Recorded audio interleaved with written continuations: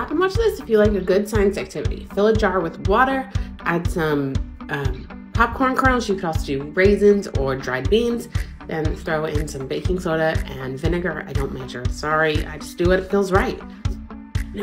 The corn or whatever you're using will just kind of dance around in there. Experiments like this are great for getting our kids interested in learning and falling in love with the magic of it all.